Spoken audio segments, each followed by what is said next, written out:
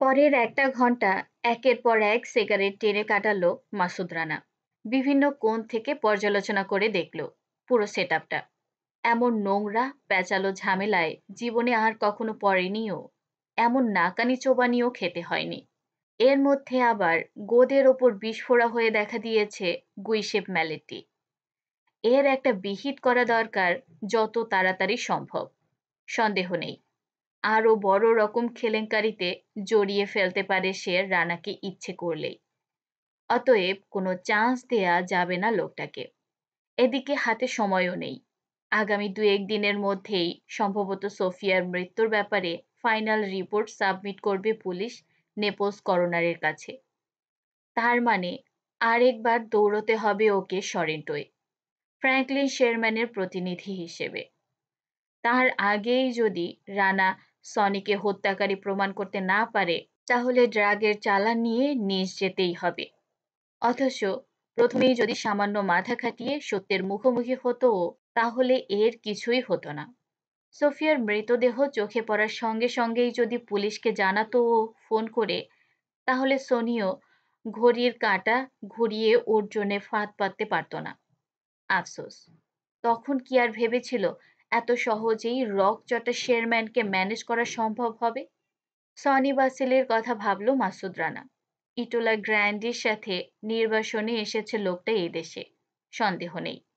কিন্তু New York থেকে green signal পাওয়ার পর ছ দিনের মধ্যে আবার ফিরে গেছে সেখানে। হত্যা করেছে আলবার্টো ফেলেনিকে। তারপর আবার দৌড়। একটা জিনিস লক্ষ্য করেছে রানা। কাজটা সাফল্যজনকভাবে শেষ করে সনি ফিরে আসা মাত্র এক সপ্তাহ পর রোমে আসে সোফিয়া শেরম্যান কে প্রথম ড্রাগের নেশা ধরিয়েছিল মেয়েটিকে? নিশ্চয়ই আলবার্তো ফেলেনি। সোফিয়ার সঙ্গে রাত কাটায় ফেলেনি। ব্যাপারটা যেভাবেই হোক, জানতে পারে ইটোলা গ্র্যান্ডি এবং কৌশলে ওকে দখল করে নেয়। সে জানে, নেশাখোরদের নীতি বলে কিছু নেই, থাকে না। লোভ দেখালেই ইচ্ছে মতো নাচানো যায় তাদের। হয়েছেও তাই।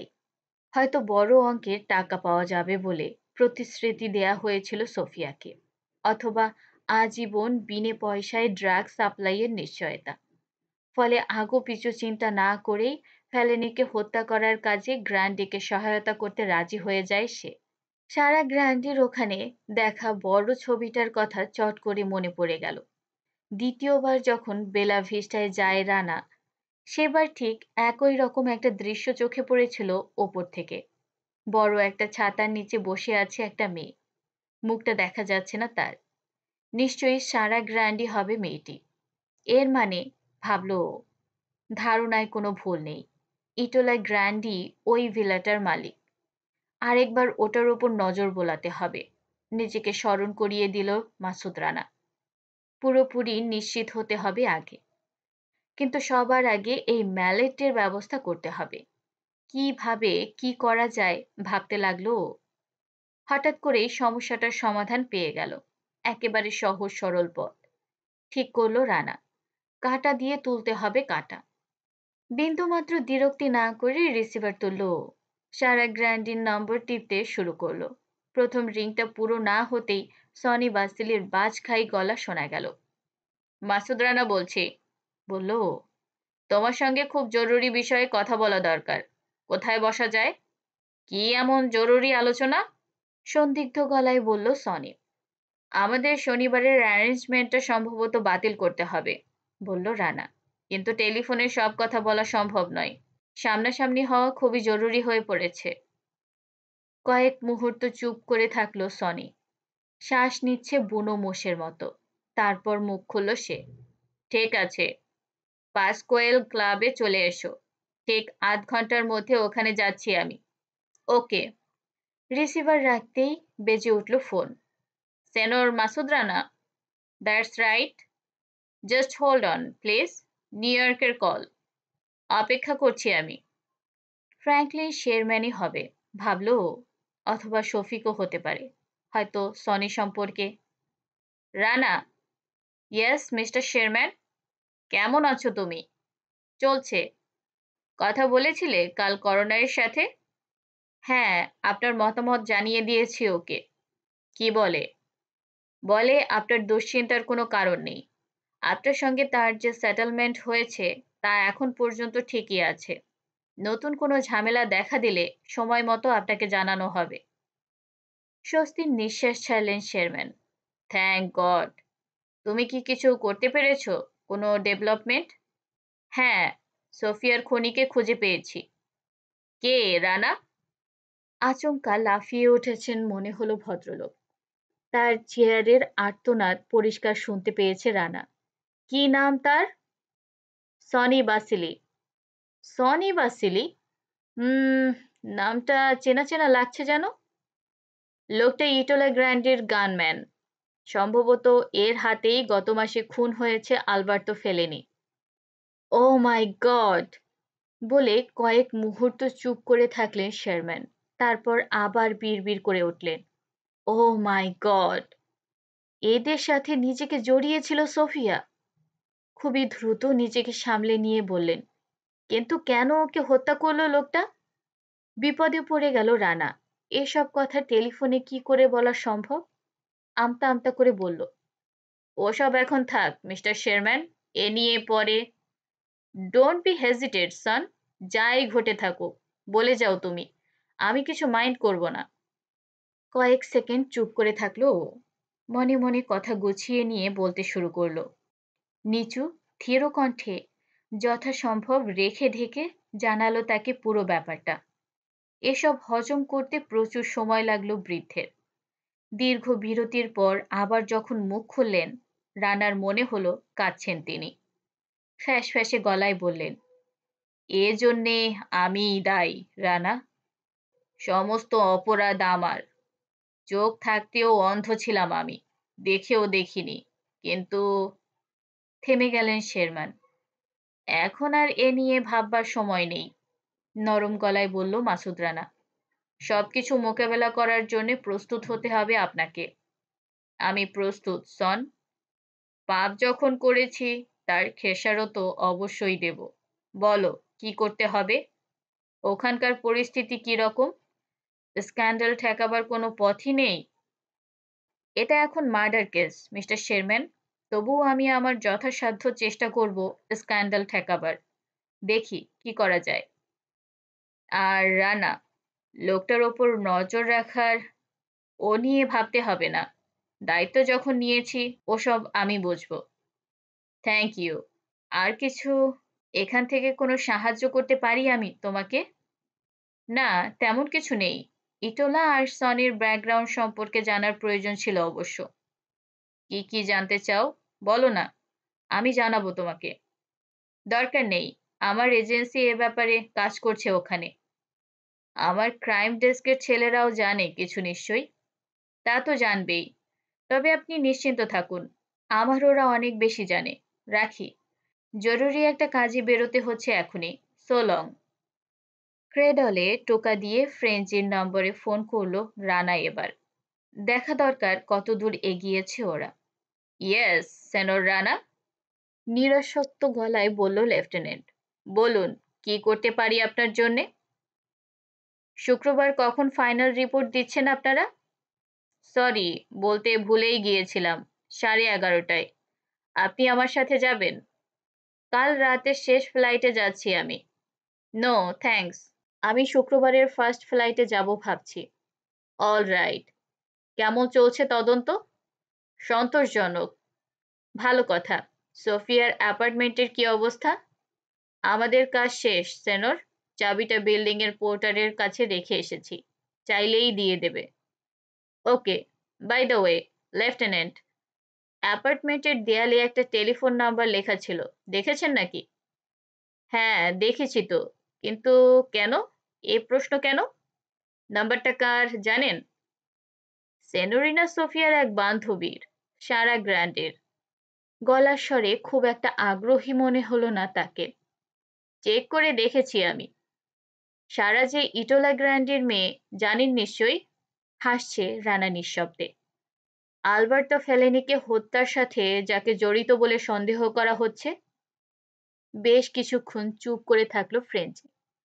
তারপর ঠান্ডা গলায় বলল, জানি বই কি, কিন্তু এসব প্রশ্ন কেন, সেনর? এমনি, জাস্ট আপনাকে মনে করিয়ে দিলাম। ভাবলাম খুব ব্যস্ত আছেন, ভুলে টুলে যেতে পারেন।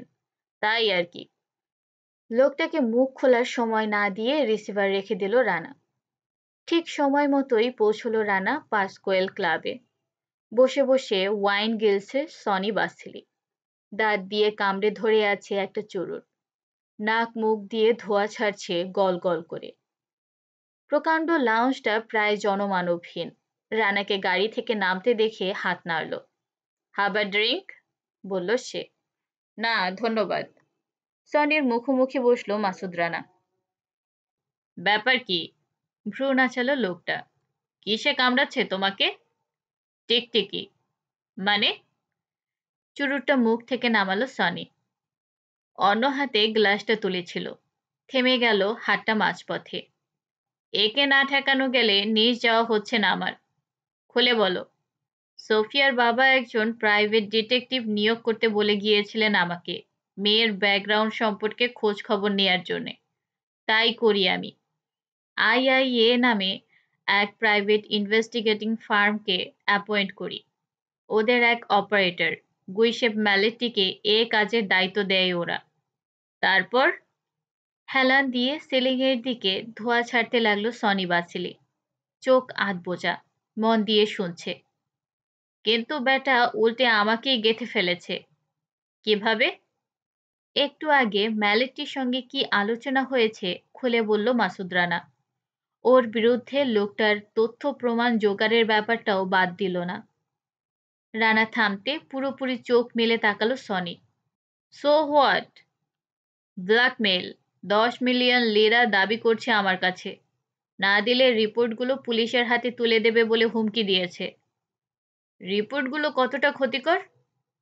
হেলান দিতে দিতে চেয়ারের ওপর প্রায় শুয়ে পড়েছে সনি বাসিলি। আনমনে গাল চুলকাচ্ছে। খুব ক্ষতিকর। ওগুলো পুলিশের হাতে পড়লে বারোটা বাজবে আমার। অত টাকাও আমার নেই যে দিয়ে ব্যাটাকে ঠান্ডা করব। আমার সার্ভিস চাইলে একে ঠেকাতে হবে তোমার। কি করতে বলো?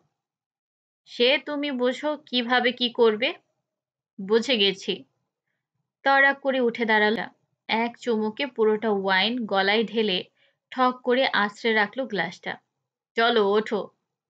হাঁটুর পিছন দিয়ে গুঁতো মেরে চেয়ারটা সরিয়ে দিতে চাইল সে। দরাম করে উল্টে পড়ল ওটা। কেঁপে উঠল পুরো ঘর। কোথায়? ম্যালেটটির সঙ্গে দেখা করে আসি। চলো, ওকে আমি সামলাবো, কোনো চিন্তা নেই। কামন কামন এখন পাচ্ছ কোথায় তাকে? তার চেয়ে বরং কাল সকালে ওকে টেলিফোন করো। অ্যাপয়েন্টমেন্ট করে কোনো দরকার নেই। হাত উল্টে ঘড়ি দেখল সনি। তিনটে বাজিনি এখনও। পাওয়া যাবে শালাকে। বাহু ধরে রানাকে টেনে তুলল সে। কাউন্টারে এসে বিল মেটালো। বাইরে এসে বলল, তোমার গাড়ি থাকুক এখানেই। আমারটা এসো। নীল রেনল্টটা দাঁড়িয়ে রয়েছে পার্কিং লটের একেবারে শেষ প্রান্তে। লক্ষ্য করল রানা। ওটার আগের নম্বর প্লেটটা নেই। অন্য প্লেট ঝুলছে। সম্ভবত এটাই আসল নাম্বার। সনির পাশে উঠল মাসুদ রানা। হুঙ্কার ছেড়ে ছুটল রেনল্ড। তীক্ষ্ণ একটা বাঁক নিয়ে। রাস্তায় উঠেই কড়া ব্রেক কষল সনি। রাস্তা পার হওয়ার চেষ্টা করছিল দুই বৃদ্ধ। ব্রেক কষতে আর একটু দেরি হলেই গাড়ির নিচে পড়ত। অথচ দোষটা তাদের নয়। লাল সিগন্যাল দেখেই পা বাড়িয়েছিল তারা। জানালা দিয়ে মুখ বের করে প্রচণ্ড ধমক লাগালো সনি লোক দুটোকে। তারপর সন্তুষ্ট মনে গিয়ার বদল করল। ক্লাস ছেড়ে ঠেসে ধরল গ্যাস পেডাল। ফ্যাটসো কোথায় থাকে? জানি আমি। পিলে চমকানো টুকরো হাসি ফুটল সনির ঠোঁটের এক কোণে। অন্য কোণটা জুড়ে বসে আছে চুরুট। একসময় দুজনে খুব ভালো বন্ধু ছিলাম আমরা। একসঙ্গে ব্যবসাও করেছি। খুব ভালোবাসে ও আমাকে। আমার জন্য সব করতে পারে ম্যালেটটি কথা বলল না রানা। লোকটাকে কীভাবে সামাল দেবে সনি বুঝে উঠতে পারছে না। দশ মিনিট এক নাগারে চলার পর গাড়ির গতি কমালো সনি বাসিলি। বায়ে টার্ন নিয়ে ঢুকে পড়ল একটা সরু রাস্তায়। ভায়া ফ্যামিনিয়া নুভোয়া জায়গাটার নাম। গলিতে ঢোকার মুখে তীর চিহ্ন দিয়ে দেখানো একটা সাইনবোর্ডে লেখা নামটা পড়ে নিয়েছে রানা চট করে। কিছু দূর এগিয়ে আবার বায়ে ঘুরল রেনল্ড। প্রায় সাথে সাথে থেমে দাঁড়াল একটা জীর্ণ অ্যাপার্টমেন্ট বিল্ডিং এর সামনে। এখানে থাকে ও, বলল সনি। চলো। গেটহীন গেট পেরিয়ে ওটার বাউন্ডারির ভেতরে পা রাখল ওরা। বিল্ডিংটা চারতলা। Twin apartment house. দু তিনটে ফ্ল্যাটের সামনের বারান্দায় ফুটোপুটি করে খেলছে শিশুরা। নোংরা সিঁড়ি বেয়ে আগে আগে ছুটল সনি। এক একবারে তিনটে করে ধাপ টপকে। বাধ্য হয়ে ছুটল রানাও। তিনতলায় পৌঁছে থামল বৃষস্কন্ধ। ডান দিকের দরজায় গুইশেপ ম্যালেটটির একটা ভিজিটিং কার্ড সাটা দেখতে পেল রানা। ফ্রেমের পাশে কলিং বেলের সুইচ।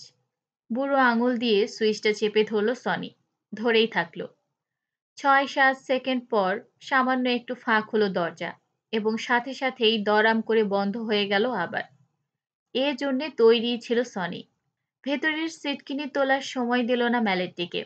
ডান হাঁটু দিয়ে ধাই করে মারল সে দরজার উপর প্রচণ্ড শক্তিতে।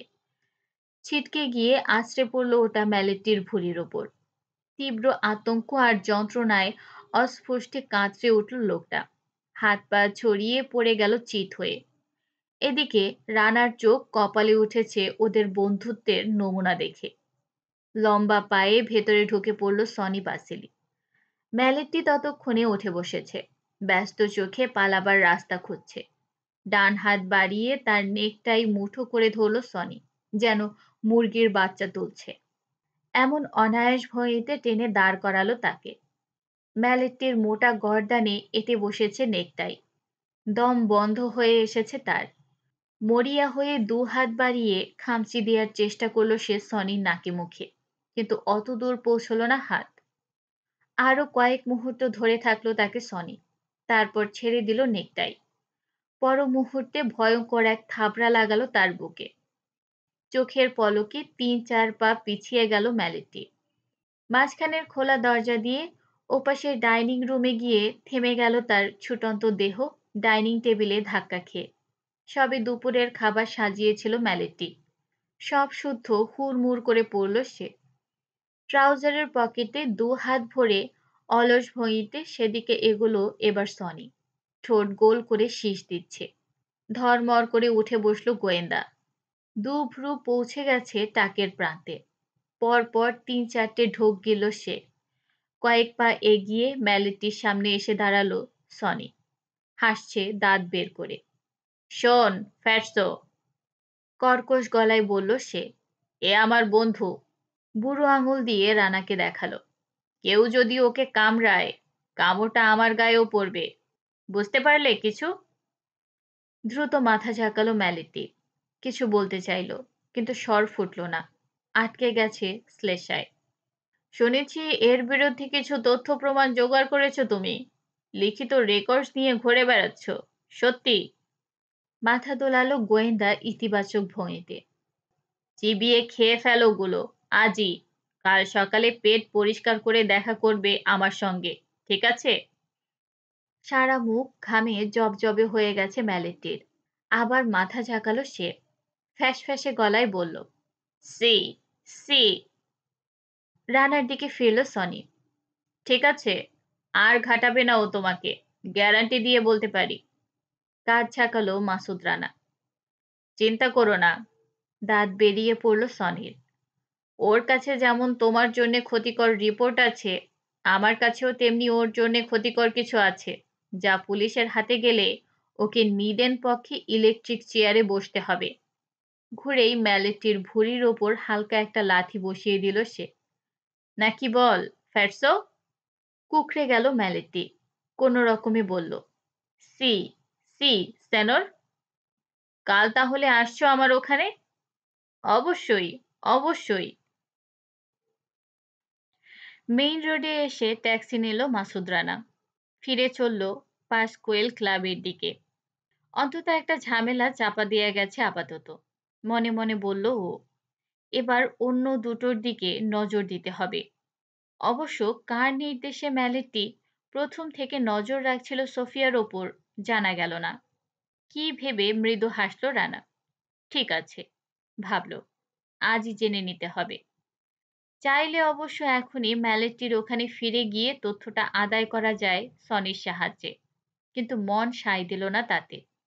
এ ব্যাপারে সনি কিছু জানুক, চায় না রানা। তাছাড়া বলা যায় না। প্যাদানির মাত্রা বেশি হয়ে গেলে ম্যালেটির হয়তো ফট করে রানার গত রাতের অভিযানের কথা ফাঁস করে দিতে পারে। কে জানে? এরই মধ্যে হয়তো সে কাজটি সেরেও ফেলেছে গোয়েন্দা।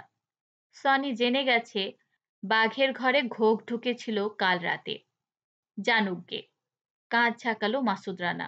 কেয়ার করে না ও? পাসকোয়েল ক্লাবের সামনে ট্যাক্সি বিদায় করল রানা।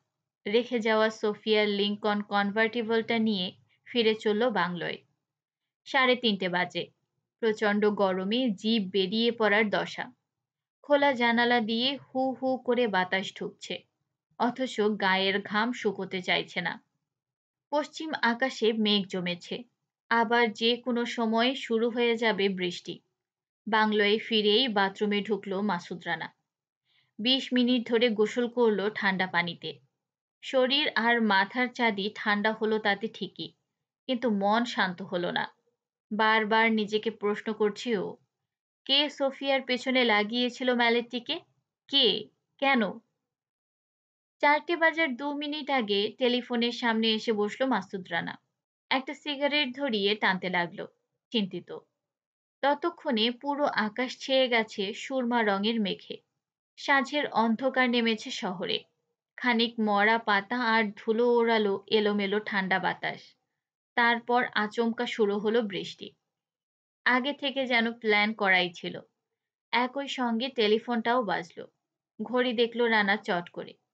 মনে মনে প্রশংসা করল ছেলেটার সময় জ্ঞানের বলো, গম্ভীর কণ্ঠে বলল কত দূর কি করতে পেরেছ? নানা রকম ঘ্যাস, ঘোষ শো শো, আওয়াজ ছাপিয়ে শফিকুর রহমানের গলা শোনা গেল। নামটা নিয়ে কনফিউশনে পড়েছি, মাসুদ ভাই, বলল সে। আপনি শিওর সনি বাসিলি ওর নাম? ভুল নেই। তাই তো জানি। দ্বিধান্বিত গলায় বলল রানা। আর একটু জোরে বলুন, শোনা যাচ্ছে না পরিষ্কার। শব্দ কিসের? বাথরুমের দরজা খোলা নাকি? হেসে ফেলল রানা। গলা চড়িয়ে বলল ন্যাচারাল শাওয়ার জি? ও, বৃষ্টি? হ্যাঁ। আচ্ছা শুনুন, লোকটার নাম সম্ভবত কার্লোট্টি। জেরি কার্লোট্টি। তাই নাকি? সেদে হয়ে বসল রানা। ছাই ছাড়লো অ্যাস্ট্রেতে যে বর্ণনা দিলেন, তাতে সেরকমই মনে হচ্ছে। লম্বা ব্রড শোল্ডার ডান গালে কাটা দাগ, কানে রিং সব মিলে যাচ্ছে। ওর গলার স্বর কেমন? খুব মোটা না? হ্যাঁ সাংঘাতিক মোটা। ও তাহলে কার্লোট্টি উত্তেজিত কণ্ঠে বলল শফিক। কোনো ভুল নেই তাতে। অল রাইট কি কি জানো ওর ব্যাপারে? বলো। ভীষণ দাঙ্গাবাজ টাইপের হাত চলে কথার আগে। কার্লোটি যেখানে, সমস্যাও সেখানে। র্যাটল স্নেকের মতো বিপজ্জনক। নিউ ইয়র্কেই থাকতো। হঠাৎ গায়েব হয়ে গেছে কিছুদিন আগে। সম্ভবত ইটালিতেই আছে সে। নিউ ইয়র্ক ছেড়েছে কবে? মাসখানেক আগে। কুখ্যাত ড্রাগ ব্যবসায়ী ইটোলা গ্র্যান্ডির গানম্যান এই বাইসনটা। লেফটেন্যান্ট? আলবার্টো ফ্যালিনি নামের আর এক গ্যাংস্টারের সাথে ড্রাগ নিয়ে একটা ঝামেলা বেঁধেছিল গ্র্যান্ডির। এরপর মার্কিন সরকার গ্র্যান্ডির নাগরিকত্ব বাতিল করে দেয়। ওর পর থেকেই লাপাত্তা গ্র্যান্ডি। পুলিশের ধারণা, কার্লোটটি তার সঙ্গেই আছে, যেখানেই হোক। রানা নিশ্চিত, ওর ধারণার সঙ্গে বাকিটুকুও মিলে যাবে।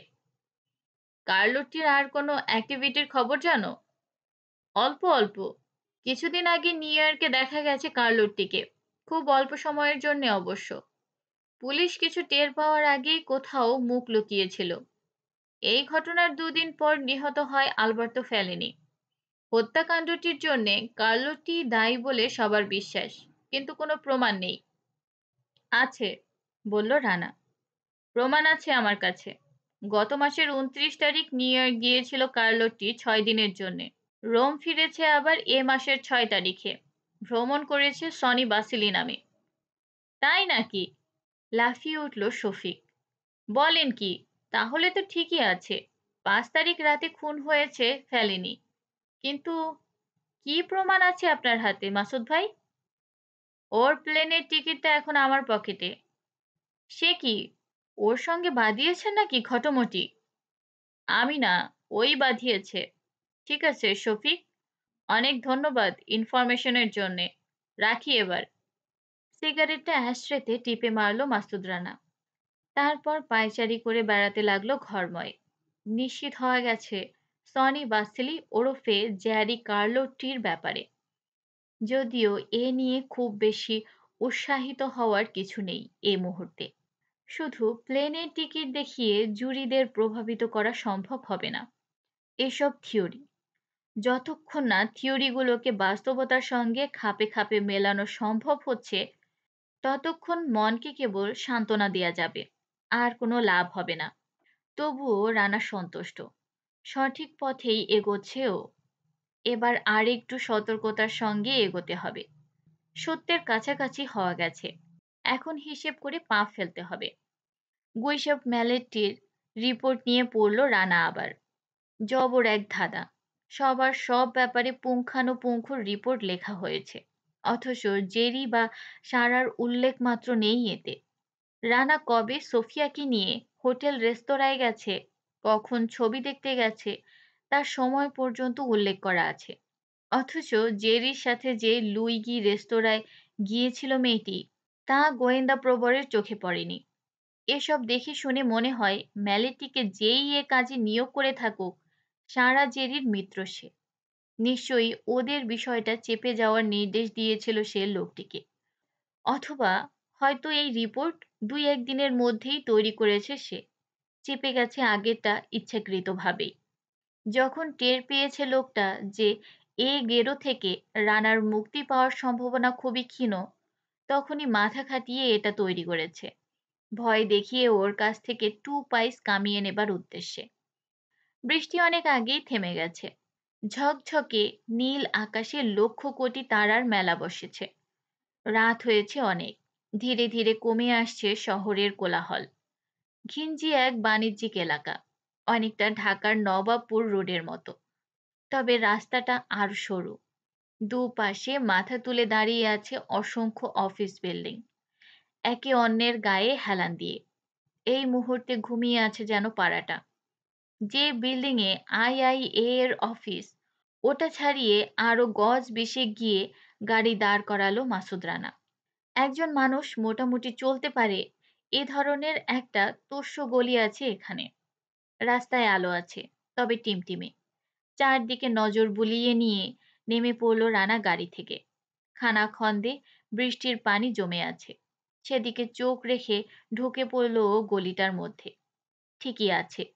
গলির শেষ মাথায় এসে নিশ্চিত হলো রানা। আরেকটা সরু রাস্তা আছে বিল্ডিংগুলোর পেছন দিকে। এই তস্য গলি মাঝখানের যোগসূত্র। খুঁজে খুঁজে নির্দিষ্ট বিল্ডিংটার পেছনে এসে দাঁড়াল রানা। এটার নিচতলায় ইন্টারন্যাশনাল ইনভেস্টিগেশন এজেন্সির অফিস। জেনিটর্স এন্ট্রান্সটা বন্ধ। নব ঘোরালো রানা। তালা মারা পাঁচ সেকেন্ড ব্যয় হলো রানার দরজাটা খুলতে। চারদিকে আরেকবার ভালো করে নজর বোলালো আবছা আলো আধারিতে পরিষ্কার দেখা যায় না কিছুই। অর্থাৎ ওকেও কেউ কেউ দেখতে পাচ্ছে না। চট করে ঢুকে পড়ল রানা ভেতরে। সিটকিনি লাগিয়ে খুদে টর্চ লাইটটা জ্বালালো। নোংরা একটা করিডোরে দাঁড়িয়ে রয়েছে ও। পাঁচ, ছয় গজ সামনে একটা বাঘ দেখতে পেয়ে পা বাড়ালো। বাঘের মুখে একদিকে ছোট একটা কিচেন, অন্যদিকে বাথরুম। ওগুলো ছাড়িয়ে আরও তিন পা এগোতে আরেকটা দরজা পড়ল। ঠেলা দিতে খুলে গেল দরজাটা। সামনেই এক সারিতে চারটে ছোট ছোট রুম প্রতিটি দরজার সাথে ঝুলছে একটা করে প্লাস্টিক বোর্ড সবগুলোই আইআইএ এর। দরজাগুলোর নিচের অংশ কাঠের ওপরের টুকু ঘষা কাচের। নাকে কেমন একটা বোটকা গন্ধ যেতে এদিক ওদিক আলো ফেলতে লাগল রানা। প্রতিটি দরজার সামনে একটা করে ছোট ডাস্টবিন উপচে পড়ছে আবর্জনা। শূন্য দুধের বোতল। তিনজাত মাছের ফেলে দেয়া কন্টেইনার এবং সিগারেটের প্যাকেট সহ আরও অনেক কিছুই রয়েছে ওতে। সম্ভবত রোজকারটা রোজ পরিষ্কার করা হয় না এগুলো।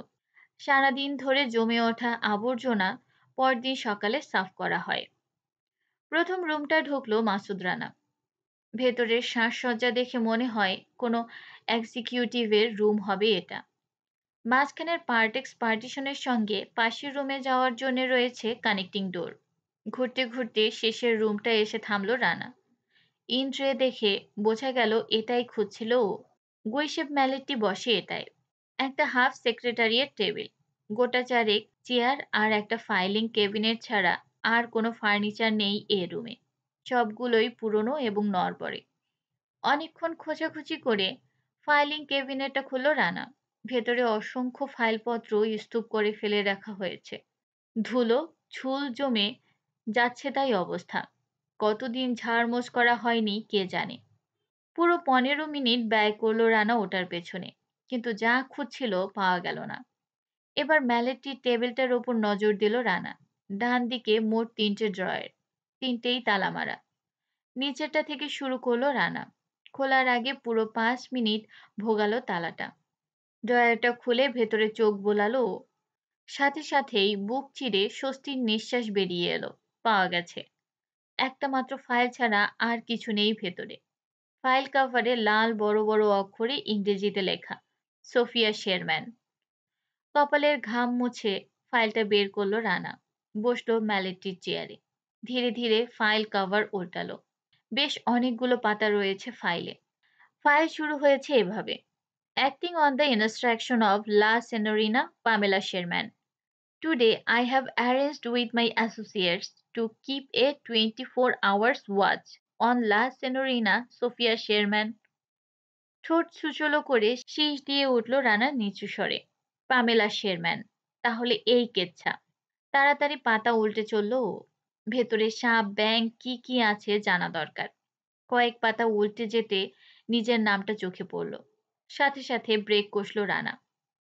ওর আর সোফিয়ার ব্যাপারে পুরো দশ পাতার রিপোর্ট রয়েছে এখানে।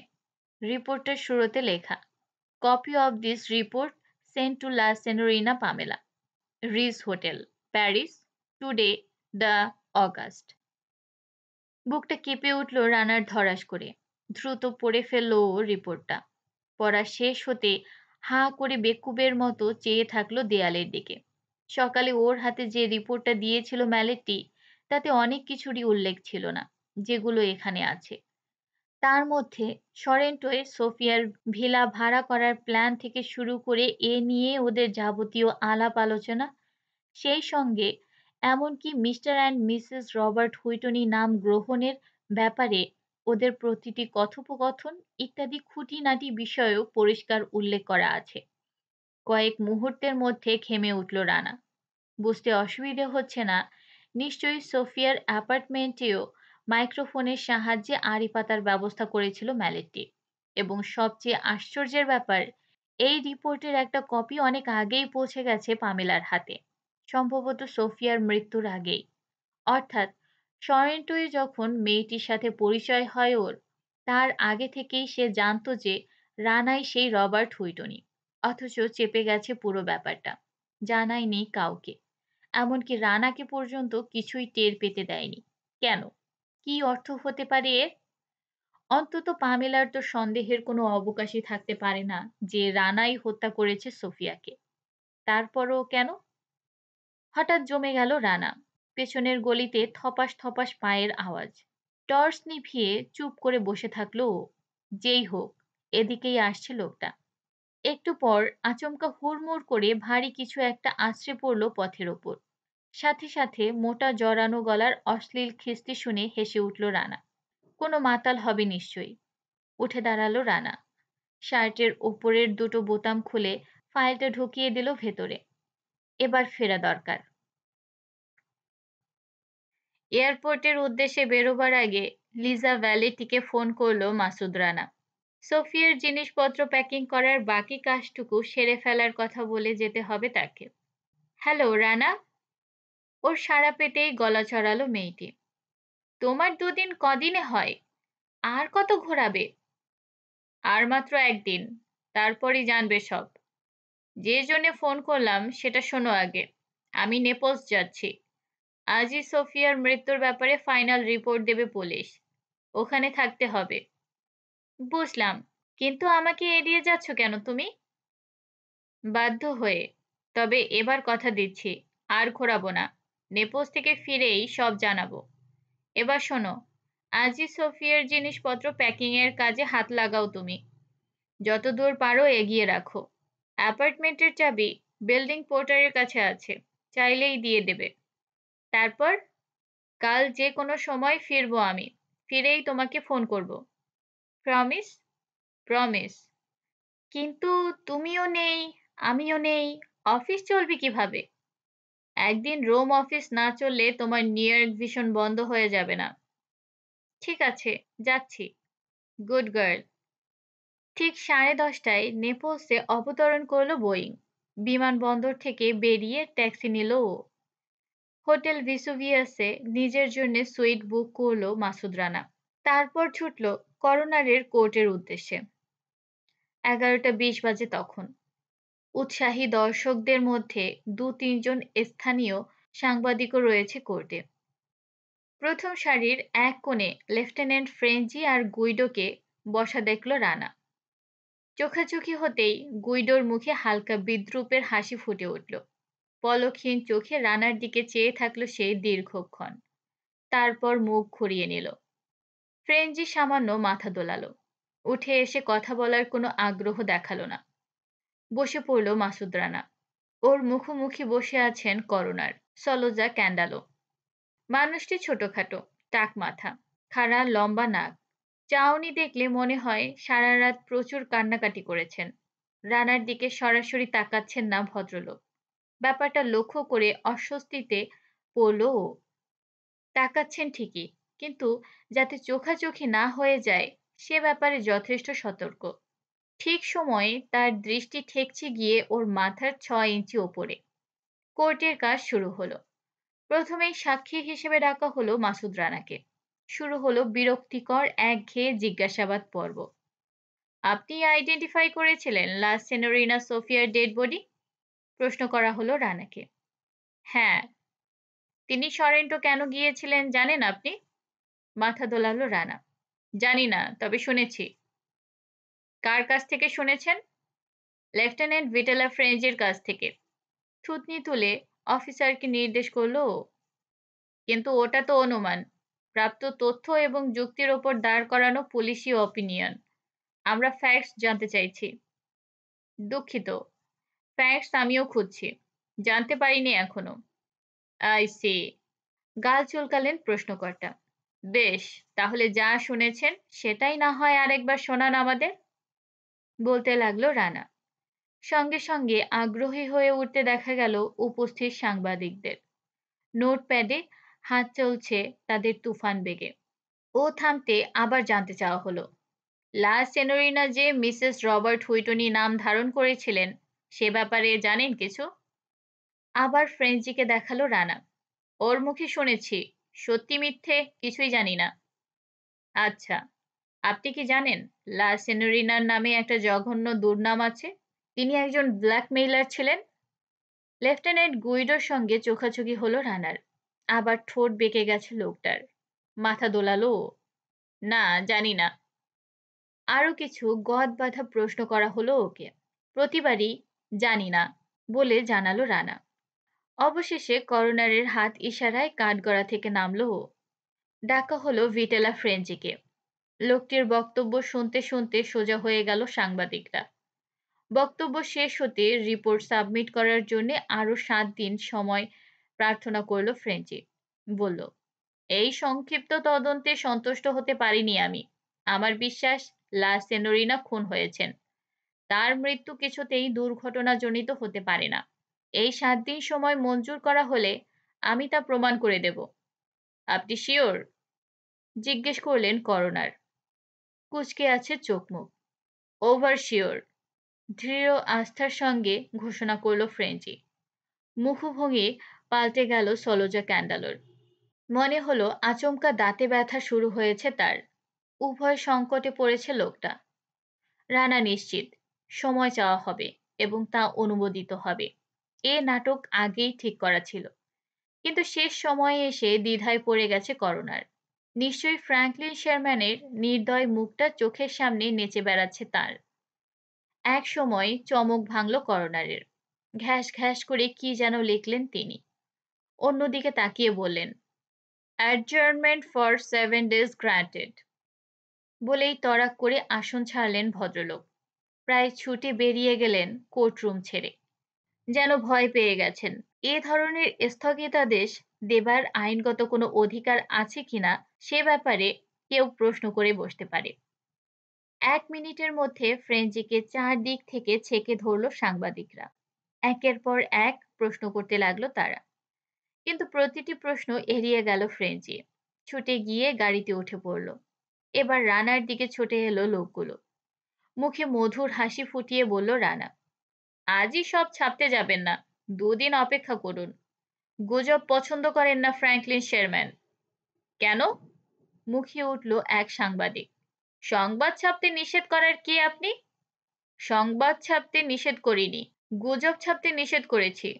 তাতে অসন্তুষ্ট হতে পারেন লা সেনোরিনার বাবা। হুঁ, গজ গজ করতে লাগল লোকটা। তাতে বই গেছে আমাদের। দ্যাটস আপ টু ইউ, কাঁধ ছাকালো রানা। আমার সতর্ক করে দেয়া কর্তব্য, করলাম। সময় থাকতে আপনাদের সাবধান করিনি বলে পরে হয়তো আমাকেই দোষারোপ করবেন। সেনর রানা, ভিড় ঠেলে এগোতে যাচ্ছিল রানা। থেমে পড়ল, ঘুরে পেছনে তাকালো। লেফটেন্যান্ট গুইডোকে দেখা গেল। হাসছে মিটিমিটি। হ্যালো, কিছু বলবেন? হ্যাঁ সেনর। একটা ব্যাপারে আপনার সহযোগিতা দরকার। শিওর, বলুন। আপনার মতো লম্বা চওড়া একজনকে খুঁজছি আমি। আই মিন ঠিক আপনার মতো ফিগার তার। লোকটাকে লা সেনোরিনার মৃত্যুর দিন দেখা গেছে সরেন্টোয়। সো জিজ্ঞাসু দৃষ্টিতে তাকালো রানা। একটা আইডেন্টিফিকেশন প্যারেডের ব্যবস্থা করেছি আমি। ওখানে একবার যেতে হবে আপনাকে দয়া করে। আমাকে বিস্মিত হওয়ার ভান করল। কেন? ওই যে বললাম, আপনার মতোই ফিগার লোকটার দুর্ভাগ্যজনক ব্যাপার, বুঝলেন? কষ্ট করে একটু না গেলেই নয়। কিন্তু আমি তো আমতা আমতা করতে লাগল রানা। হাতে খুব জরুরি একটা কাজ আছে। সামান্য কয়েক মিনিটের ব্যাপার, সেনর? বলল গৈরো। আমার সাথে আসুন, প্লিজ। শেষটুকু বলল প্রায় আদেশের ভঙ্গিতে। ঘুরে দাঁড়াল লোকটা। সম্ভবত তার নীরব ইশারাতেই পোশাকধারী দুজন পুলিশ কনস্টেবল এগিয়ে এলো রানার দিকে। দাঁত বের করে হাসছে। কোথায় যেতে হবে? পুলিশ হেডকোয়ার্টার্সে, সেনর? বলল এক সেপাই। চলুন। বাইরে অপেক্ষমান পুলিশের জিপে এসে উঠল ওরা। রানাকে পেছনের সিটে বসানো হলো। সেপাই দুজন বসল মুখোমুখি। লেফটেন্যান্ট গুইডো উঠল ড্রাইভারের পাশে। ব্যস্ত রাজপথ ধরে ছুটল জিপ। পুলিশ হেডকোয়ার্টারের দিকে। সামনেই ফ্রেঞ্চিকে দাঁড়িয়ে থাকতে দেখা গেল। রানাকে গাড়ি থেকে নামতে দেখে দ্রুত একটা কক্ষে ঢুকে পড়ল লোকটা। অস্বস্তি আরও বেড়ে গেল রানার। অমন চোর চোর ভাব কেন ব্যাটার? ভেতরে বড় একটা রুমে ঢোকানো হলো ওকে। মাঝখানে কাঁচের পার্টিশন দিয়ে দু ভাগ করা হয়েছে রুমটা। আগে থেকেই আরও দশজন লোক দাঁড়িয়েছিল রুমের এক সারিতে। রানাকে তাদের পাশে দাঁড় করিয়ে দিয়ে বেরিয়ে গেল দুই সেপাই। শূন্য দৃষ্টিতে কাঁচের ওপাশটা দেখছে মাসুদ রানা। দু তিনটে খটখটে কাঠের চেয়ার ছাড়া আর কিছু নেই ওদিকে। খানিক পর সঙ্গীদের দিকে নজর দিল দুজন আমেরিকান এবং দুজন জার্মান রয়েছে তাদের মধ্যে। বাকি ছজন ইটালিয়ান। একমাত্র আমেরিকান দুজন আর ও নিজে ছ ফুটের কাছাকাছি। অন্যরা কেউই পাঁচ ফুট আটের বেশি হবে না। একটু পর পাশ থেকে লেফটেন্যান্ট গুইডোর গলা শুনল মাসুদ রানা। মাত্র কয়েক সেকেন্ডের ব্যাপার, সেনর, বলল সে। এখনই শেষ হয়ে যাবে ঝামেলা। কথা শেষ হতেই বেরিয়ে গেল লেফটেন্যান্ট। এর পর পরই কাঁচের ওপাশে উদয় হলো সে, ফ্রেঞ্চি এবং একজন ইটালিয়ান। চেয়ারে বসল তারা। গুইডো হাত ইশারায় সামনে দণ্ডায়মান লোকগুলোর দিকে তার দৃষ্টি আকর্ষণ করল। দ্রুত ঠোঁট নাড়ছে তার, কিন্তু কি বলছে শোনা যাচ্ছে না। তাকে ছেড়ে লোকটার দিকে নজর দিল মাসুদ রানা। অতি সাধারণ চেহারা। চোখে পড়ার মতো বিশেষ কিছু নেই সেখানে। সারা গাল ভর্তি খোঁচা খোঁচা দাড়ি। চোখ দুটো লাল। চাউনিতে কেমন একটা অপ্রস্তুত ভাব। কিছুক্ষণ তাকিয়ে থাকার পর বুঝলো রানা, এ সেই ট্যাক্সি ড্রাইভার। সে রাতে মরণপণ করে নেপলস পৌঁছে দিয়েছিল তাকে। এখনও লোকটার কানের কাছে বক বক করে চলছে গৈর। বারবার হাত তুলে এদিকটা দেখাচ্ছে। একটা ব্যাপার পরিষ্কার টের পেল ও। লোকটার হাতটা ঘুরে ফিরে ওকেই নির্দেশ করছে। তবে ব্যাপারটা ইচ্ছাকৃত কি অনিচ্ছাকৃত বুঝতে পারল না। ফ্রেঞ্জি চুপচাপ, কোনো কথা বলছে না। শাড়ির ও মাথা থেকে প্রতিটি মুখের ওপর কয়েক মুহূর্তের জন্য থমকে থমকে রানার ওপর এসে সেটে গেল লোকটার দু চোখ। প্রমাদ গুনল ও ঘামতে শুরু করল। বুকের মধ্যে ধরাস ধরাস করছে প্রাণ পাখি। চার পাঁচ সেকেন্ড তাকিয়ে থাকল লোকটা। অথচ রানার মনে হলো যেন যুগ যুগ ধরে দেখছে সে ওকে নিষ্প্রাণ দুই পাথরের চোখ মেলে। অবশেষে নড়ে উঠল লোকটা এক সময়। কিছু বলল গৈরকে। মাথা ঝাঁকিয়ে তাকে বেরিয়ে যেতে বলল সে। কপালের ঘাম মোছার ইচ্ছে হলো রানার খুব। কিন্তু বহু কষ্টে নিজেকে সামলে রাখল। গুইডো চেয়ে আছে ওরই দিকে। ঠোঁটে ঝুলছে তিক্ত হাসি। কেন হাসছে হারামজাদা? নিজেকেই প্রশ্ন করল রানা। ড্রাইভার ব্যাটা কি চিনে ফেলেছে ওকে? জানিয়ে দিয়ে গেছে যে এই সেই লোক যাকে খুঁজছেন আপনারা? এরপর আরেকজন ইটালিয়ানকে ভেতরে নিয়ে আসা হলো। লেফট লাগেজ অফিসের কেরানি। অন্য মুখগুলোর ওপর দিয়ে দ্রুত ঘুরে এলো তার দৃষ্টি।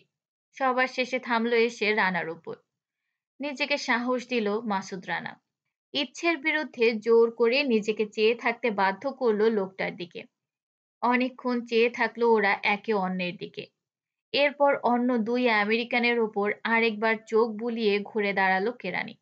পা বাড়ালো বেরিয়ে যাওয়ার জন্যে। এরপর আরও দুই পুরুষ এবং এক মহিলাকে আনা হলো। তাদের একজনকে চিনতে পারল রানা। সরেন্টো স্টেশনে যে রেস্তোরাঁয় অ্যাসপ্রেসো পান করেছিল তার ওয়েটার লোকটা। একই ঘটনা ঘটল এবারও। সবর ওপর দিয়ে পিছলে এসে মাসুদ রানার ওপর থমকালো তার দৃষ্টি। কয়েক মুহূর্ত দাঁড়িয়ে থেকে নজর নামালো সে। গুইডোর উদ্দেশ্যে কিছু একটা বলল, তারপর বেরিয়ে গেল কক্ষ ছেড়ে। বাকি দুজন তাকালোই না ওর দিকে। বরং ওপাশের আমেরিকানদের একজনের দিকে বেশি ঝোঁক দেখা গেল এক মহিলার। তার সন্ধানী দৃষ্টির প্রতি উত্তরে বত্রিশ পাটি দাঁত বের করে হেসে উঠল আমেরিকান। যেন মজা পাচ্ছে খুব। পুরো তিন মিনিটও লাগল না। হাত ইশারায় প্যারেডের সমাপ্তি ঘোষণা করল গৈর রানা সহ অন্যদের উদ্দেশ্যে। রানার সাথে সাথে সেও বেরিয়ে এলো ওপাশ থেকে। হাসিটা আরও প্রশস্ত হয়েছে তার। ধন্যবাদ, সেনর, বলল সে, এবং দেরি করিয়ে দেবার জন্য দুঃখিত। না না, তাতে কি? যাকে খুঁজছিলেন, পেলেন তাকে? দুঃখিত, সেনর। এখনই সে প্রশ্নের উত্তর দিতে পারছি না। আই সি লেফটেন্যান্ট ফ্রেঞ্চি কোথায়? তার সঙ্গে দেখা হবে না এখন। খুব ব্যস্ত আছে ও। পাল্টা হাসি দিল রানা। ভুল করছেন। তার সঙ্গে দেখা করার প্রয়োজন দেখি না আমি। শুধু একটা মেসেজ দিতে চাইছিলাম। তাই। ঠিক আছে। আমাকে বলুন। আমি জানিয়ে দেব। তাকে বলবেন, ইটোলা গ্র্যান্ডিকে অ্যারেস্ট করার ক্রেডিট যদি নিতে চায় সে তাহলে যেন সরেন্টো পুলিশ হেডকোয়ার্টারে অপেক্ষা করে। অন্তত আজকের রাতটা। বলেই ঘুরে দাঁড়াল গট গট করে হেঁটে বেরিয়ে গেল স্টেশন থেকে। ওদিকে খবর শুনে চোখ কপালে উঠে গেছে গৈডোর মহাবিস্ময়। মাছের খাবে খাওয়ার মতো বার দুয়েক ঢোক গেল অজান্তেই সংবিত ফিরতে দ্রুত পা বাড়ালো সে রানাকে ধরার জন্যে। মেসেজটা সম্ভবত আরেকবার শুনতে চায় বা কোনো প্রশ্ন করতে চায়। কিন্তু শেষ সুযোগ হলো না। একটা ট্যাক্সিতে উঠে পড়েছে ততক্ষণে মাসুদ রানা। তার নাকের সামনে দিয়ে ভো করে বেরিয়ে গেল ট্যাক্সিটা। মিশে গেল অন্তহীন গাড়ির স্রোতে। কয়েক মুহূর্ত সেদিকে চেয়ে থেকে চরকির মতো ঘুরে দাঁড়াল গৈর। তারপর তীরবেগে ছুটল ভেতর দিকে। খবরটা দিতে হয় জায়গা মতো। ফেরার পথে একটা বড় ডিপার্টমেন্টাল স্টোর চোখে পড়তে ট্যাক্সি থামালো মাসুদ রানা। ওখান থেকে এক জোড়া ব্রেদিং ট্যাঙ্ক কিনলো কেবল। তারপর ছুটলো হোটেলের দিকে। টেবিলে লম্বা লাঞ্চের অর্ডার দিয়ে বাথরুমে গিয়ে ঢুকলো। শাওয়ার ছেড়ে দিয়ে পদ্মাসনে বসে পড়ল তার নিচে। মাথার মধ্যে ঘুরপাক খাচ্ছে identification parade taxi driver left luggage অফিসারের ক্রানি এবং রেস্তোরাঁর ওয়েটার তিনজনেই যে চিনে ফেলেছে ওকে, সে ব্যাপারে বিন্দুমাত্র সন্দেহ নেই মনে। এখন শুধু সময়ের ব্যাপার। যে কোনো মুহূর্তে এসে হাজির হবে ফ্রেঞ্জি আর গুইডো। অতএব যা করার তাড়াতাড়ি করতে হবে। সময় নষ্ট করা চলবে না এক মুহূর্ত। সোফিয়াকে হত্যা করা হয়েছে। পুলিশ নিশ্চিত সে ব্যাপারে। কাজে এখন আর ফ্র্যাঙ্কলিন শেরম্যানের কোনো প্রভাবই কাজে আসবে না। এখন আর একটু তৎপর হতে হবে রানাকে। তাড়াতাড়ি একটা কিছু করতে হবে। মাসুদ রানা কোথাকার লাট দেখতে যাবে না পুলিশ। ওই সেই রহস্যময় রবার্ট হুইটনি। কেবল এটুকু জানলেই ওদের চলবে। মনে হয় মনে হয় কেন? নিশ্চয়ই তা জেনেও গেছে ওরা। অতএব লঙ্ঘিতে হবে রাত্রি নিশীথে আপন মনে হেসে উঠল রানা। ভাগ্যটা একটু প্রসন্ন হলেই হয় এখন। রাত নটা বেজে কয়েক মিনিট। Two steamer station. প্রচণ্ড ভিড়। ট্যাক্সি থেকে নামলো মাসুদ রানা। হাতে ছোট একটা বাদামি কাগজের প্যাকেট। মাপা দৃঢ় পায়ে এগিয়ে চলল স্টেশনের দক্ষিণ প্রান্তের দিকে। মানুষের ধাক্কায় পথ চলাই দায়। ঠেলে গুটিয়ে এগোতে লাগল ও। দুশো গজ মতো এগিয়ে থামল। আলোর ব্যবস্থা পর্যাপ্ত নয় এখানটায়। লাইট পোস্ট থাকলেও বেশিরভাগই আলোহীন। হারবারের বাঁধানো তীরে তিন চারটে নৌকা বাঁধা দেখে খুশি হয়ে উঠল রানা। বৈঠা চালিত পুরানো ধাঁচের নৌকা সবগুলো। টুরিস্ট খদ্দরের আশায় আছে। রানাকে দেখে ব্যস্ত হয়ে উঠল মাঝিরা। ওকে দখল করার প্রতিযোগিতা পড়ে গেল। সবচেয়ে বয়স্ক আর নিরীহ চেহারার মাঝিটিকে পছন্দ হলো রানার। হাত ইশারায় লোকটাকে ডাকলো ও ভাঙা ভাঙা ইটালিয়ানে তাকে বোঝালো যে তিন চার ঘণ্টার জন্যে তার নৌকাটা ভাড়া নিতে চায় সে। তাকে সঙ্গে যেতে হবে না। রানা নিজেই বাইতে পারে। প্রথমে খুশি হয়ে উঠলেও রানার বক্তব্য বুঝতে পেরে সন্দিহান হয়ে পড়ল মাঝি। কিন্তু সে কয়েক মুহূর্তের জন্যে। রানার দু দুটো পাঁচ হাজার লিরার নোট দেখে ঘন ঘন ঢোক গিলতে লাগল সে। কোনো চিন্তা নেই।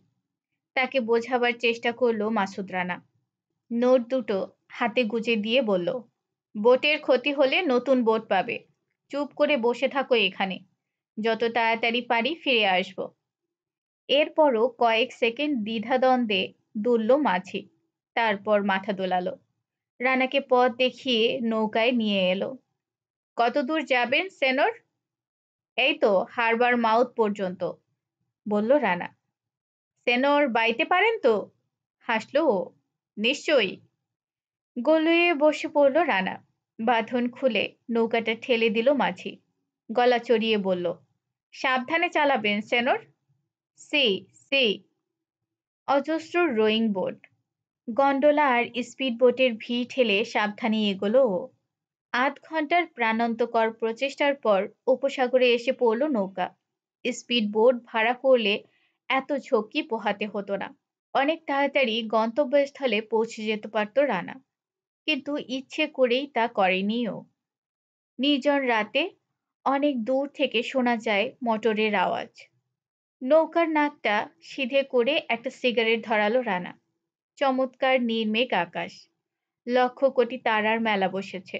যেন সারা আকাশ জুড়ে এলোমেলো, অগোছালোভাবে ছড়িয়ে দিয়েছে মুক্তোর দানার মতো দ্যুতিময় নক্ষত্রগুলো। উপসাগরের ঢেউহীন মসৃণ পানি চিকচিক করছে সে আলোয়। কিন্তু প্রকৃতির শোভা দেখার সময় নেই এখন রানার। এ এখন যান বাঁচানোর সংগ্রামে ব্যস্ত।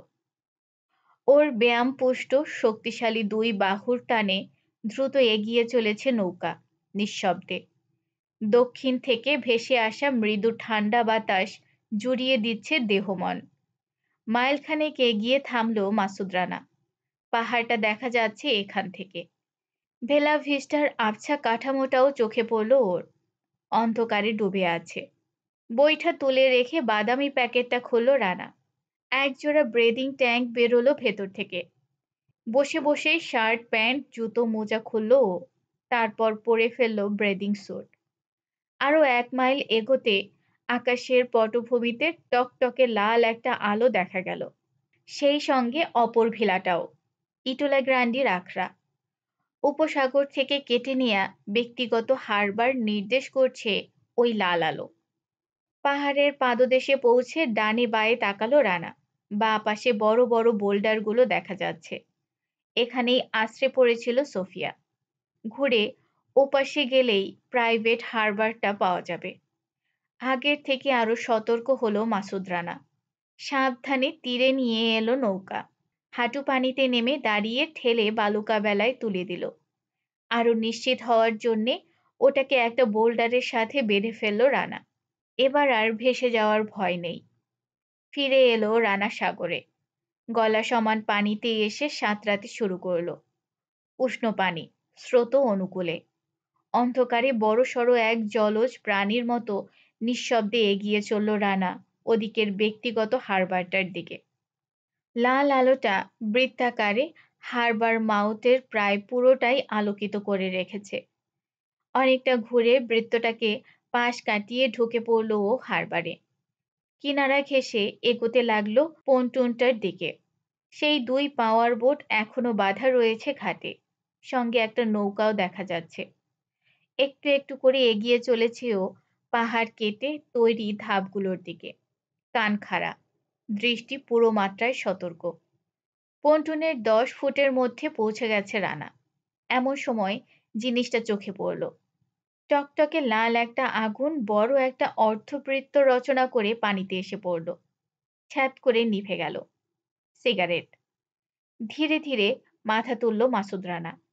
কোথায় আছে লোকটা? নিকোষ কালো অন্ধকারে কিছুই দেখা গেল না ভিলার আউটলাইন ছাড়া। পল্টনের কিনারায় পৌঁছে থামলো রানা। সামনেই একটা মোরিং রিং দেখতে পেয়ে উঁচু হয়ে ধরলো ওটা। যেদিক থেকে ফেলা হয়েছে সিগারেটটা, সেদিকে তাকালো আবার। প্রায় এক মিনিট পর আবছা একটা নড়াচড়া ধরা পড়ল চোখে। পরক্ষণেই উঠে দাঁড়াল একটা মনুষ্য মূর্তি। আর মোড়া ভাঙল। পেছনে আকাশ থাকায় এবার পরিষ্কার দেখা যাচ্ছে তাকে। সিঁড়ির পাশেই এতক্ষণ বসেছিল সে। ঘুরে তাকালো লোকটা সাগরের দিকে। পাঁচ মিনিট ঠায় দাঁড়িয়ে থাকল একই জায়গায়। তারপর পায়ে পায়ে এগিয়ে চলল হারবার মাউথের দিকে। আচার আচরণে বেশ অস্থির মনে হলো রানার লোকটিকে। কারও অপেক্ষায় আছে সম্ভবত। একটু পর লাল আলোটার নিচে পৌঁছে থামল সে। এবার পরিষ্কার দেখতে পাচ্ছে রানা তাকে। বেশ লম্বা লোকটা, স্বাস্থ্যবান। কালো ট্রাউজার এবং সাদা সিংলেট পরনে। মাথায় ইয়টিং ক্যাপ। বুঝতে অসুবিধে হয় না, পানিতেই বসবাস এ লোকের। রানার দিকে পেছন ফিরে দাঁড়িয়ে আবার সিগারেট ধরালো সে। চিতার মতো দ্রুত, নিঃশব্দে উঠে পড়ল রানা পল্টনে। খুব দ্রুত ধাপগুলো পেরিয়ে উঠে এলো উপরে। সামনে দশ গজ দূরেই ভিলার ফ্রন্ট সাইড। জোরালো আলোয় ভাসছে। বা দিকে বড় সড়ো কয়েকটা ঝোপ দেখে ছুটল রানা সেদিকে। প্রথম ঝোপটার কাছে পৌঁছেই বসে পড়ল ছপ করে। কাঁধের ওপর দিয়ে পেছনে তাকালো। তেমনি দাঁড়িয়ে রয়েছে লোকটা। সাগর দেখছে আনমনে। ভিলার দিকে নজর দিল এবার মাসুদ রানা। ওপাশের একটা খোলা জানালা দিয়ে আলো এসে পড়েছে বাইরে। কিন্তু ভেতরটা দেখা যাচ্ছে না এখান থেকে। উঠল রানা। কোমরের ওপরের অংশ সামনে ঝুঁকিয়ে ঝোপগুলো পেরিয়ে এগোলো। ঘুরে এসে জানালাটার সোজাসুজি একটা কমলা গাছের আড়ালে বসল। এখান থেকে মাত্র সাত, আট ফুট দূরে রয়েছে জানালাটা। কোনো পর্দা নেই জানালায়, তবে কাঁচের পাল্লা ভেতর থেকে বন্ধ। ভেতরটা পরিষ্কার দেখা যাচ্ছে। সুন্দর করে সাজানো গোছানো প্রকাণ্ড লাউঞ্জ ওটা। অত্যন্ত দামি আসবাবে ঠাসা। রুমের ঠিক মাঝখানে বড় এক টেবিল ঘিরে বসে আছে চারজন লোক। পোকার খেলছে। তাদের পেছনে একটা সোফায় প্রায় শোয়ার ভঙ্গিতে বসে আছে সারা গ্রান্ডি। হাতে একটা ম্যাগাজিন ছোটে সিগারেট। পাশে নিচু একটা টেবিলের ওপর বাজছে ডেক সেট। মিউজিকের তালে তালে মাথা দোলাচ্ছে মেয়েটি। অন্যদের দিকে তাকালো এবার রানা। একজন সরাসরি এদিকে ফিরে বসেছে। দুজনের মুখের এক পাশ দেখতে পাচ্ছে ও। অন্যজন বসেছে পেছন ফিরে। ভীষণ মোটা এলো সারা দেহে থল থল করছে চর্বি। ঘাড় গর্দান বলে কিছু নেই। প্রকাণ্ড ফুটবলের মতো মাথাটা যেন চেপে বসিয়ে দেয়া হয়েছে কাঁধের ওপর। চুলগুলো ঘন, কোকড়া। কাঁচায় পাকায় মেশানো। মুখটা দেখার প্রয়োজন বোধ করল না রানা। এই সেই কুখ্যাত ড্রাগ ট্রাফিকার। আলবার্তো ফ্যালেনির হত্যার পরিকল্পনাকারী ইটোলা গ্রান্ডি। পত্রপত্রিকায় এর বহু ছবি দেখেছে ও ওর ধারণা মিথ্যে হয়নি দেখে একটা স্বস্তির নিঃশ্বাস ছাড়ল মাসুদ রানা। ফিরে গিয়ে যখন এর আখড়ার অবস্থান জানাবেও ফ্রেঞ্চি আর গুইডোকে, লোক দুটোর মুখের অবস্থা কেমন হবে ভেবে হাসি পেল। অন্য তিনজনের ওপর চোখ বোলালো এবার রানা। হলিউডের মারদাঙ্গা মার্কা ছবির ভিলেন যেন এক একটা মুখের চামড়া পুড়ে তামাটে রং ধারণ করেছে। সব কটার ঠোঁটের কোণে ঝুলছে সিগারেট। চেহারাই বলে, প্রত্যেকেই নির্দয় খুনি। ডজন ডজন মানুষের রক্ত লেগে আছে এদের হাতে। কে জিতেছে খেলায়, এখান থেকেই পরিষ্কার দেখা যাচ্ছে। কয়েনের ছয়টা উঁচু পাহাড় জমে আছে গ্র্যান্ডির সামনে। অন্যদের ভাগ্যে তেমন কিছু জোটেনি। খেলা দেখতে লাগল রানা। কয়েক সেকেন্ড পর ওর দিকে মুখ করে বসা লোকটি হাতের কাঠটা টেবিলের ওপর রাখল চিৎ করে। হতাশ ভঙ্গিতে কাঁধ ঝাঁকিয়ে কিছু একটা বলে উঠল। গ্র্যান্ডির বিশাল পিঠটা কেঁপে কেঁপে উঠল। হাসছে। হাসি থামতে চেয়ার ঠেলে উঠে দাঁড়াল সে। পাশে যেমন, লম্বায় তেমনটি নয় লোকটা। বেশ খাটো। কার্ডগুলো ফেলে দিল টেবিলে। মেয়ের দিকে তাকিয়ে কিছু বলল। চোখ তুলে বাপের দিকে তাকালো মেয়েটি। মাথা ছাকালো। তারপর আবার ডুবে গেল ম্যাগাজিনের পাতায়। অন্য তিনজনের একজন এগিয়ে এলো জানালাটার দিকে। এ লোক বেশ লম্বা, ছিপছিপে। ছিটকিনি খুলে ঠেলে দিল সে পাল্লা দুটো বাইরের দিকে। সেই সঙ্গে লাভ দিয়ে বেরিয়ে এলো মিউজিকের আওয়াজটাও। জানালা দিয়ে মাথা গলিয়ে বাইরে তাকালো লোকটা। চেয়ে থাকল লাল আলোটার দিকে। কয়েক মুহূর্ত পর গ্র্যান্ডির উদ্দেশ্যে কিছু বলল সে মুখ ফিরিয়ে। কিন্তু জোরালো বাজনার কারণে কথাগুলো শোনা গেল না। হাত বাড়িয়ে ডেক সেট অফ করে দিল গ্র্যান্ডি। কি বললে? জিজ্ঞেস করল সে। টিম দেরি করে ফেলেছে, আবার বলল লোকটা। প্রতিটি কথা পরিষ্কার শুনতে পেল এবার মাসুদ রানা। এত দেরি করার কি কারণ? তার পাশে এসে দাঁড়াল ইটোলা গ্র্যান্ডি উকি দিয়ে বাইরে তাকিয়ে বলল, হয়তো এমনি। এসে যাবে, চিন্তা নেই। কত দূর থেকে আসছে দেখতে হবে না। ওখানেই দাঁড়িয়ে থাকল তারা কিছুক্ষণ। অন্য দুজন কি নিয়ে হাসাহাসি করছে টেবিলে বসে। সারা ম্যাগাজিন নিয়ে ব্যস্ত। মিনিট দুয়েক পর মৃদু একটা গুঞ্জন কানে এলো মাসুদ রানার। অনেক দূর থেকে আসছে আওয়াজটা। মনে হচ্ছে কোনো স্পিড বোটের আওয়াজ। একই সঙ্গে গ্র্যান্ডি আর তার সঙ্গী শুনতে পেল তা। ওই এলো বোধ হয় বলে উঠল লোকটা। ভিটো আছে তো জেটির ওখানে? থাকবে না মানে? খেকিয়ে উঠল ইটোলা গ্র্যান্ডি সব কিছু নিয়ে ইয়ার কি? জানালার সামনে থেকে সরে গেল সে। দেখতে পাচ্ছে না তাকে এখন রানা। কয়েক মুহূর্ত পর সামনের দরজা দিয়ে টেরেসে এসে দাঁড়াল। ড্রামের মতো মোটা কোমরে দুই কলা গাছের কাণ্ডের মতো হাত রেখে হাঁক ছাড়লো ইটোলা। ভিটো! সাথে সাথেই পাল্টা হাঁক ভেসে এলো ঘাটির দিক থেকে। C, señor? ওর নাম তাহলে ভিটো, ভাবলো মাসুদ রানা। এখান থেকে লোকটাকে দেখা যাচ্ছে না এখন। টিম আসছে, খেয়াল রেখো। আবার চেঁচিয়ে বলল ড্রাম। সি। আরও কয়েকবার এগিয়ে এলো গ্র্যান্ডি। সেই বিশাল ছাতাটার নিচের একটা চেয়ারে বসে পড়ল। লম্বুও বেরিয়ে এলো এবার। খুব বেশি হলে দশ গজ দূরে আছে ওরা রানার। বসেছিল ও। আস্তে আস্তে শুয়ে পড়ল। জায়গাটা খুব একটা সুবিধাজনক নয়। কারও চোখ পড়েও যেতে পারে ওর ওপর। বলা যায় না। মোটরের আওয়াজটা আরও অনেক কাছে এসে পড়েছে। ম্যাগাজিন ছুঁড়ে ফেলে দিল সারা গ্রান্ডি উঠে দাঁড়িয়ে আড়মোড়া ভাঙল। লাল ভেলভেটের স্কার্ট এবং বুকের ওপর কুচি দেয়া ব্রেশিয়ারেরই বৃহৎ সংস্করণ কিছু একটা পরেছে সে। সুন্দর ফিগারের জন্যে দারুণ মানিয়েছে মেয়েটিকে। সিগারেটটা অ্যাশট্রেতে ফেলে দিয়ে বেরিয়ে এলো সে ঘর থেকে। যোগ দিল বাপের সঙ্গে। লাল আলোটা এই সময় দপ করে নিভেই জ্বলে উঠল আবার। ওই যে, টিম। হাত তুলে হারবার মাউথ দেখাল সারা। বেশ খুশি খুশি মনে হচ্ছে মেয়েটিকে এখন। বাতাসে তার গায়ের মিষ্টি পারফিউমের গন্ধ ভেসে এলো রানার নাকে। ওদিকে মোটরের আওয়াজ কমে এসেছে। শব্দ শুনে মনে হচ্ছে পৌটনে ফেরার আয়োজন করছে। কয়েক মুহূর্ত কিছুই ঘটল না। সিগারেট ধরিয়ে নীরবে টেনে চলছে ইটোলা গ্র্যান্ডি সারা আর লম্বা লোকটা দাঁড়িয়ে আছে পাশাপাশি। রানাও শুয়ে আছে মূর্তির মতো।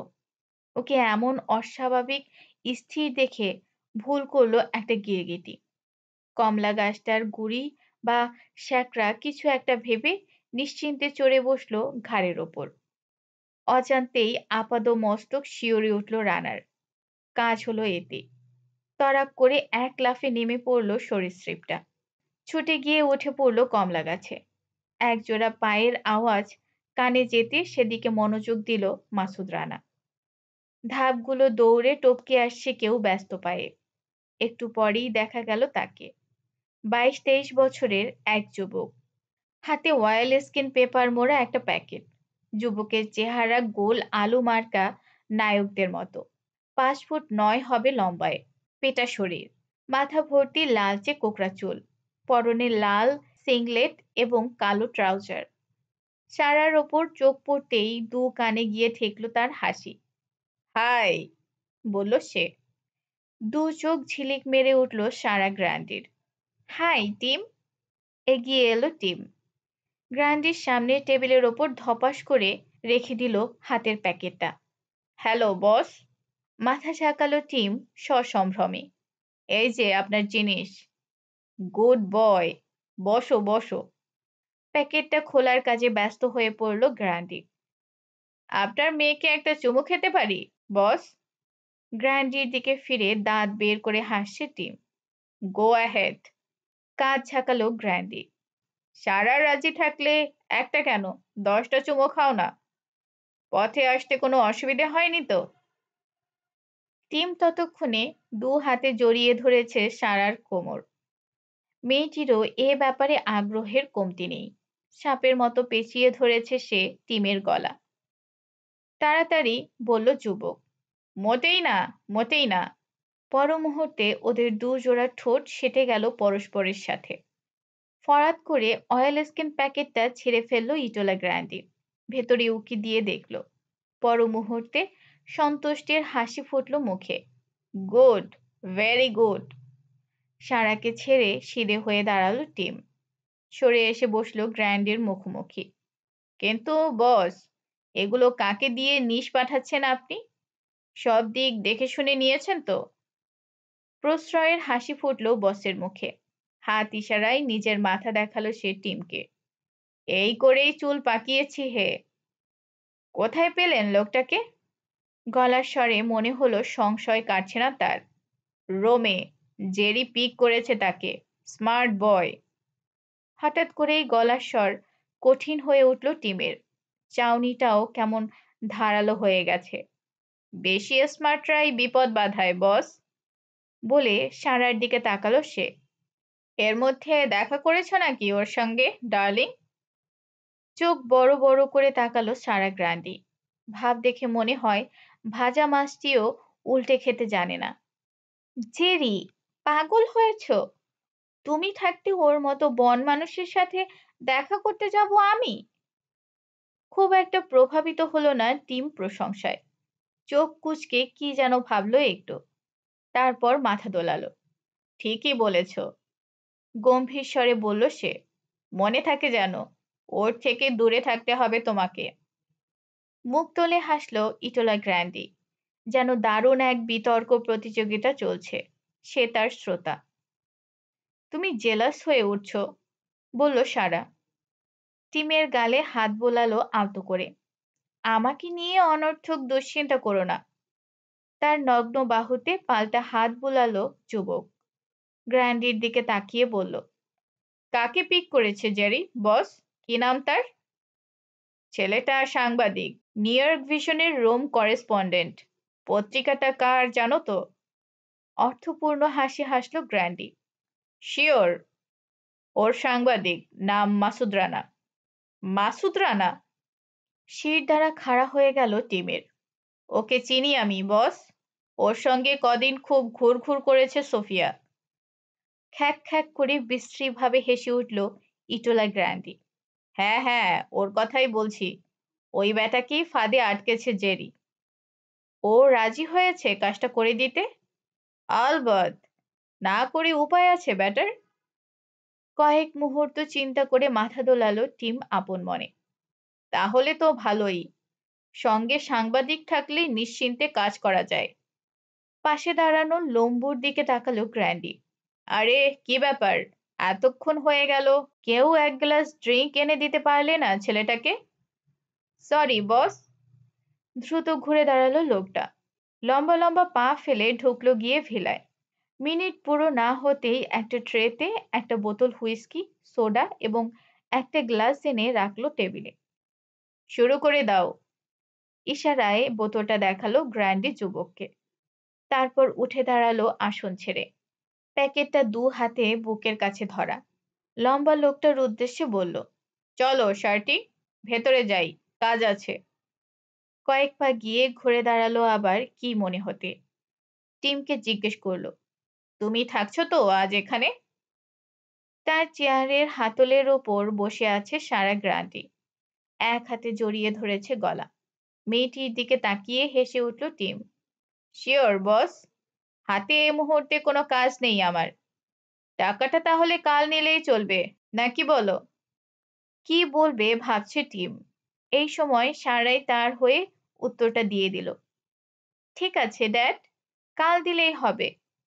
বলেই গলা নামালো মেয়েটি। টিমের কানের কাছে মুখ নামিয়ে বলল, রাতটা তুমি আমি একসাথে কাটাবো, কেমন? এতই আসতে বলল সে কথাটা যে বিশ হাত দূর থেকে রানাও স্পষ্ট শুনতে পেল। গ্র্যান্ডির দিকে তাকালো যুবক। আপনার কোনো আপত্তি নেই তো, বস? কিসের? সারার সঙ্গে যদি? ও শিওর শিওর মেয়ে আমার যথেষ্ট বড় হয়েছে। যার সঙ্গে ইচ্ছে রাত কাটাতে পারে। Thank you boss. শুধু হুইস্কির বোতলটা তুলে নিয়ে উঠল টিম। এক হাতে সারার কোমর জড়িয়ে ধরে পা বাড়ালো। গ্রান্ডি আর শার্টের পাশ কাটিয়ে ঢুকে পড়ল ভেলায়। ভ্রু কুচকে ওদের গমন পথের দিকে চেয়ে থাকল শার্টি। যুগল মূর্তিটা চোখের আড়ালে চলে যেতে একটা দীর্ঘশ্বাস ছেড়ে অন্য মনস্কের মতো বলল, ছোড়া কবে যে জেরির হাতে মরবে তাই ভাবি। হেসে উঠল ইটোলা গ্র্যান্ডি বাদ দাও, ওদের বান্ধবী সমস্যা নিয়ে ওরা ভাববে। তোমার কি? নাও। প্যাকেটটা শার্টির দিকে এগিয়ে দিল সে। নতুন করে প্যাকেট করে ফেলো গে। কাল ভোরে রওনা হয়ে যাবে। জ্যারির হাতে এটা তুলে দিয়েই ফিরে আসবে। আন্ডারস্ট্যান্ড? মাথা ছাকালো শার্টি প্যাকেটটা ধরলো দু হাতে। তারপর বসের পেছন পেছন পা বাড়ালো। ওরা অদৃশ্য হতেই ভূমি শয্যা ত্যাগ করল মাসুদ রানা। যা জানার ছিল জানা হয়ে গেছে। এবার কেটে পড়তে হবে। শার্টির হাতের প্যাকেটটা যাতে রোম পৌঁছতে না পারে, সে ব্যবস্থা তো বটেই। একই সঙ্গে অন্যদের শ্রীঘরবাসের আয়োজনটাও নিশ্চিত করতে হবে। হামা দিয়ে সিঁড়ির ধাপগুলো পর্যন্ত পৌঁছলো মাসুদ রানা। মনের মধ্যে সামান্য ইতস্তত ভাব। ভিটো বলে যাকে ডাকছিল গ্র্যান্ডি, তাকে দেখতে পেল না ও কোথাও। দূরে লাল আলোটার দিকে তাকালো রানা। না, নেই সে ওখানেও। তাহলে হয়তো ওর অজান্তেই কোনো এক সময় ভিলায় গিয়ে ঢুকেছে ভিটো অন্যদিকে নজর থাকায় খেয়াল করেনি ও তারপরও মনের মধ্যে সামান্য খুঁতখুঁতে ভাবটা রয়েই গেল। সাবধানে একটা একটা করে ধাপ টপকে পল্টনে নেমে এলো রানা। পানিতে নামার আগে শেষবারের মতো মুখ তুলে উপর দিকে তাকালো। না, কোথাও নেই ভিটো পরক্ষণেই জমে গেল ও বরফের মতো। পেছন থেকে কারও অতি সাবধানী নিঃশ্বাস পতনের আওয়াজ কানে এসেছে। ভয়ের একটা ঠান্ডা স্রোত কাঁপিয়ে দিয়ে গেল ওকে। অভিজ্ঞতা থেকেই বুঝে ফেলল মাসুদ রানা। কিছু করার সময় পেরিয়ে গেছে। তবুও শেষ চেষ্টা হিসেবে ঘুরে দাঁড়াতে গেল ও, কিন্তু পারল না। অর্ধেকটা ঘোরার আগেই পেছন থেকে ওর গলাটা পেঁচিয়ে ধরলো একটা পেশিবহুল লোমশ হাত। পর মুহূর্তে হাঁটু তুলে গায়ের জোরে গুঁতো মারল লোকটা রানার মেরুদণ্ডের ওপর। অসহ্য যন্ত্রণায় গঙিয়ে উঠল মাসুদ রানা।